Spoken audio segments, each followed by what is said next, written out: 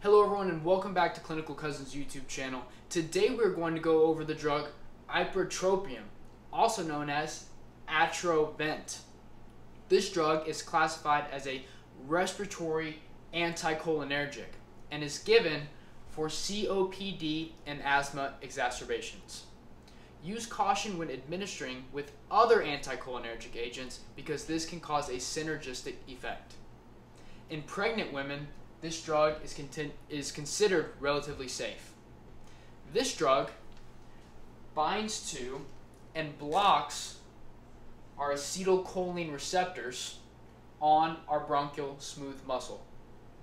Normally, acetylcholine from the vagus nerve causes an increase in calcium into bronchial, bronchiolar smooth muscle and causes constriction. However, Atrovent works to block these receptors so that smooth muscle does not constrict. Therefore, our airways will remain open and our lungs will remain happy. Now, you should be aware that this is not a rescue medication. It is only used for maintenance therapy. Use a beta 2 agonist like albuterol for rescue therapy.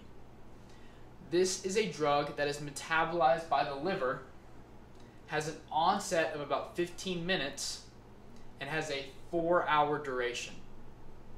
The side effects of this drug may include secondary infections like bronchitis, sinusitis, and also, ironically, COPD exacerbation, headache, and dry mouth.